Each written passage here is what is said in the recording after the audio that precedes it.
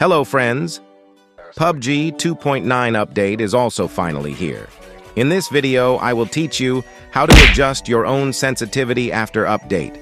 Do you still find it difficult to control the horizontal and vertical recoil? And you don't know whether to increase or decrease the sensitivity. No wonder you lose to others in a close fight. Watch the video carefully. Take M416 as an example. Come to the training ground and stand in my position without any attachments. Now turn off the gyroscope. Open the red dot and fire seven bullets at a time. If the bullets goes upwards, increase the sensitivity. And if the bullets goes downwards, decrease the sensitivity.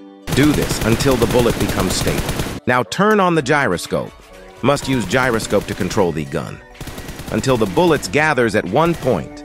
Finally, hip fire sensitivity. Come in front of this robot. Aim the crosshair at the robot and shoot. If you can't keep up, increase the sensitivity. And if it's too much, then decrease the sensitivity. Even after this, if you are finding it difficult to control the gun, then leave a comment. I'll explain it in part 2.